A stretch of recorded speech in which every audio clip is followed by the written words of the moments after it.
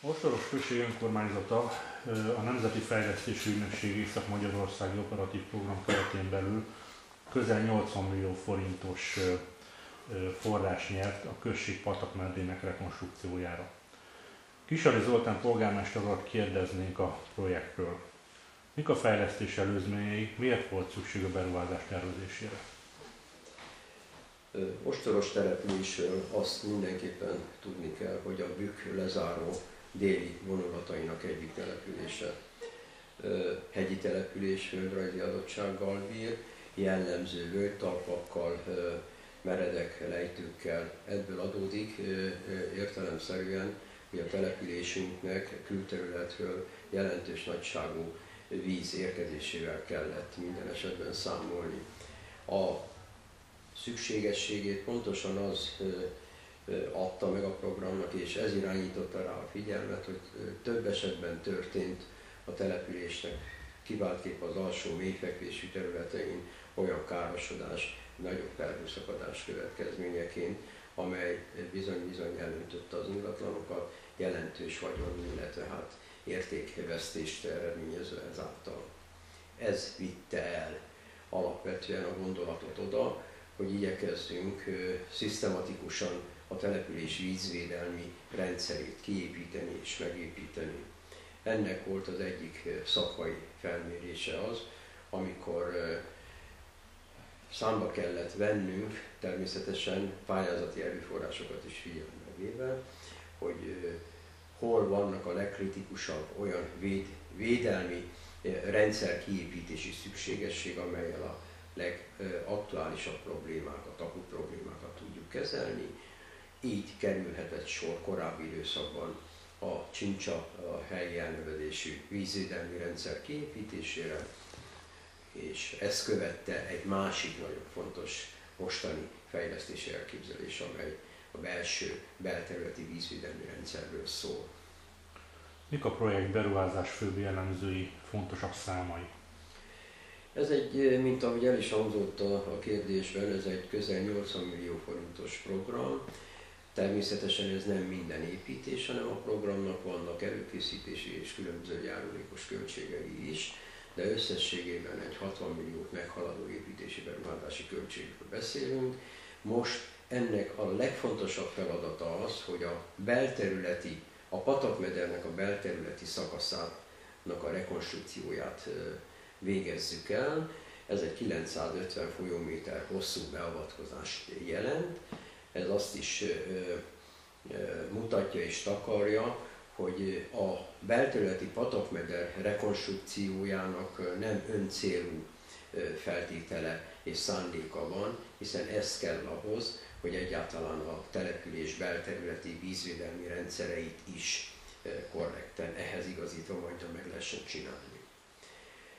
A, amit számszak, számszakilag alá lehet támasztani, azt mint említettem, egy 950 folyóméter szakaszú beavatkozás, amely burkolt árok mederelemekkel lesz nagyon korrekten és szépen megvalósítva. A tervezők, illetve hát a szakma arra is odafigyelt, hogy ezek a burkolt elemekkel ne hermetikusan zárjuk el a mederfalat, hiszen az elemek egymáshoz való illesztésének hézagolása sem fog megtörténni, pontosan a rétegvizek beszivárgása okán. Emellett aztán a hidak, három hidat érint a, ez a, a belterületi szakasz, a hidak környezetének a rendezése, a oldal befolyású ágak, egy 16 torkolati műnek a felújítása és rekonstrukciója tartalmaz még, tartalmazza még a program. Tehát egy nem csak esztétikailag, hanem egy szakmailag megfelelő, mint egy 40 cm-rel átlagban mondhatjuk, hogy helyenként 40 cm-rel, de átlagban egy olyan 20 cm-rel mélyebbre kerül a mederfenék a hidak mederfenekéhez képest és ezzel a átfolyási sebességét tudjuk, a patakszállító sebességét tudjuk növelni, illetve korrektebb torkolati műveket, oldalirányú torkolati műveket tudunk kialakítani.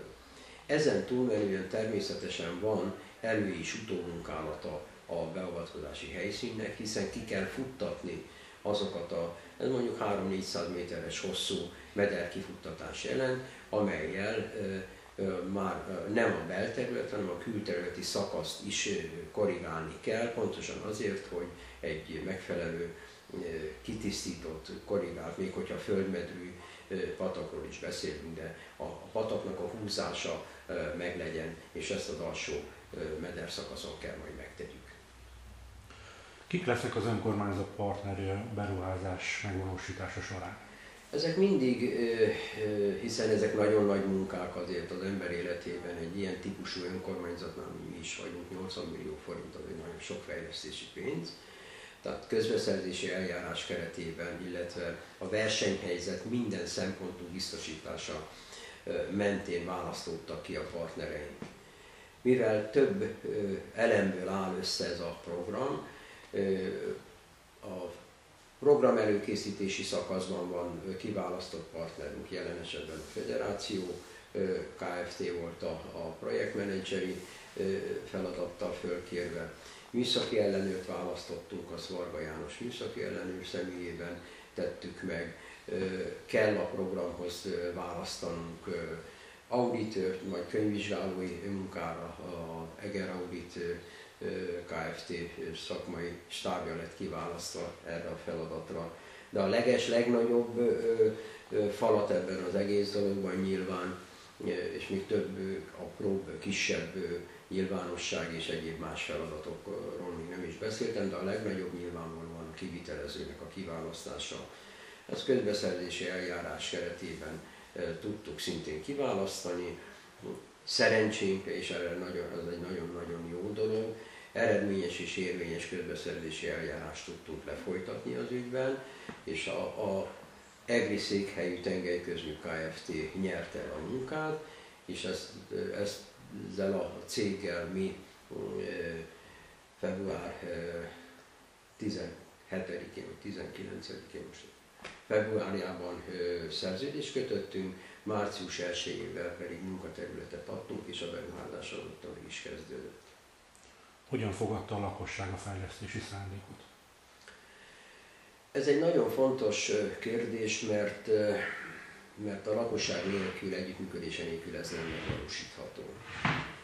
Ezt elsősorban azért kell nagyon egyértelművé tenni, mert azzal együtt, hogy ez közértek, azzal együtt, hogy minden, ez a 950 folyóméter mederszakasz mentén vagy ahhoz kapcsolódó ingatlan érdekében történő fejlesztésről beszélünk, mégis vannak olyan napi életünkből tudott kis feszültségpontok, amelyet akár egy-egy növényzet letelepítése is indukálhat, amelyet normálisan nekünk kezelni kell. Tehát a lakosság támogatására nagyon nagy szükségünk van, volt és lesz is a program megvalósításában. El kell viselnünk ezt a nem kis felfordulással járó beavatkozást.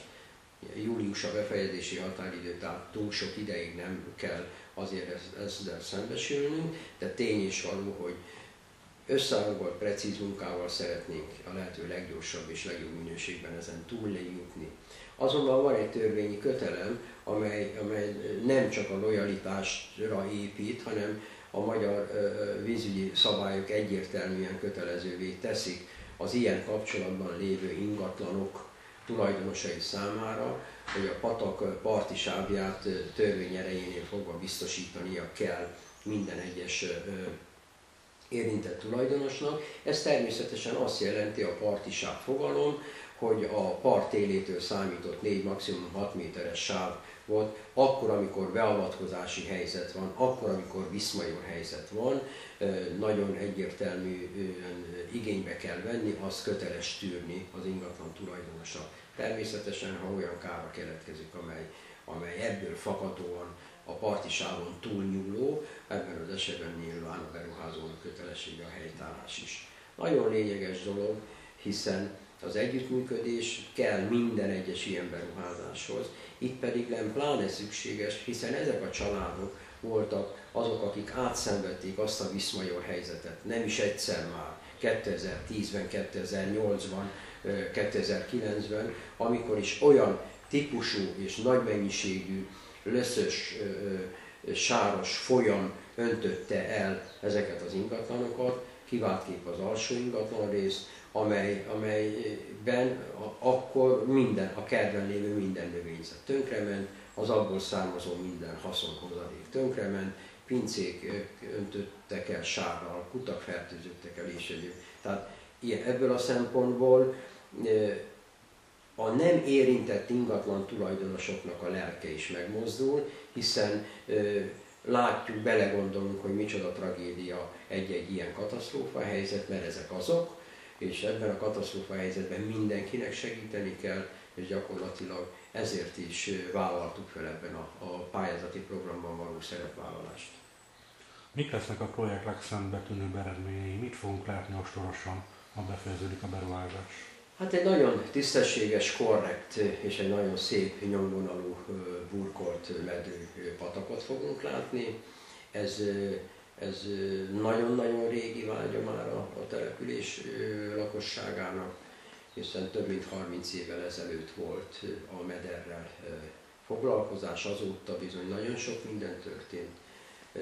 Elvadult a meder, tehát esztétikailag sem és funkcionálisan nem korrekten működik, ez fog megváltozni, ez a legfontosabb. Ezen túl azonban van egy következmény, egy járulékos következménye a jövő. Hiszen ez, ez a lépés teszi meg, az, annak a lehetőségét teremti meg ez a lépés, amely a belterületi csapadékvízelvezetési hálózat rekonstrukcióját eredményesen sikerre vigye. Hiszen most lekerül a a patakmeder, mint befogadó arra a szintre, amelyhez lehet igazítani az oldalági befolyásokat, amely ö, egyértelműen, mint célterület, mint befogadó az ostoros patak. És az oldalági befolyások, ezek a belterületi utak, vízelvezető hálózatai mindenhez kell, hogy igazodjon. Fordítva nem működik az dolog. Hamarabb nem lehet megcsinálni a a belterületi hálózatot, mint sem a patakmedret megfelelően ki nem építjük, megfelelő szintre, állandósult szintre nem helyezünk, és ehhez nagyon szépen lehet aztán az oldalági becsatlakozások szintjét meghatározni és kiépíteni. Mi ezen az úton indultunk el, most ezt sikerre visszük, innentől kezdve, ha ezt sikeresen befejezzük ezt a programot, jöhet a lakosság támogatásával a következő nagy lépés, amikor a Ostoros község utcáinak, utcáiban lévő felszíni vízelvezető árakrendszereket fogjuk felújítani, fogjuk hálózatba kötni, rendszerelemként kezelni, és a patakig ki fogjuk építeni. Köszönöm polgármester úrnak a riportot, Ostoros község vízvédelmi fejlesztésével kapcsolatban hallottak már információt.